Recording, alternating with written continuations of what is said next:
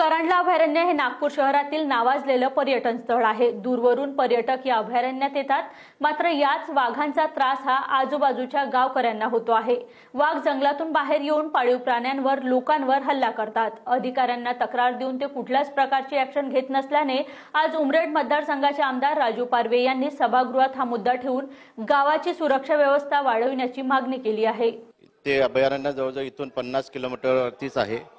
रोज गावामध्ये रोजच्या रोज वाघाचं किलिंग होत आहे. मागच्या पंधरा दिवसापासून जवळजवळ प्रत्येक दिवसाला तीन ते चार गायीची हत्या होत आहे. अध्यक्ष महाराज वारंवार सांगून अधिकारी तिथे येतात पण अधिकाऱ्याला गाव लोक आता बंदी घातलेली आहे. कारण जवळजवळ गावामध्ये प्रत्येक गावामध्ये दहशतीचं वातावरण पसरलेलं आहे. रोज जंगलातले वाघ बाहेर येत आहे. आम्ही वारंवार सांगतो अधिकाऱ्यांना की या वाघाचा बंदोबस्त झाला पाहिजे. अध्यक्ष महाराज जिथे अधिवेशन चालू आहे तिथे चाळीस किलोमीटर किलोमीटरवरती हे अभयारण्य आहे रोज पर्यटक बाहेर येतात पण गावातले लोक दहशती दहशतीमध्ये जगत आहे अध्यक्ष महाराज ही व्यवस्था जर झाली नाही गावाला फिनिशिंग. झालं नाही तर राजन. लोक उतरल्याशिवाय राहणार नाही अध्यक्ष महाराज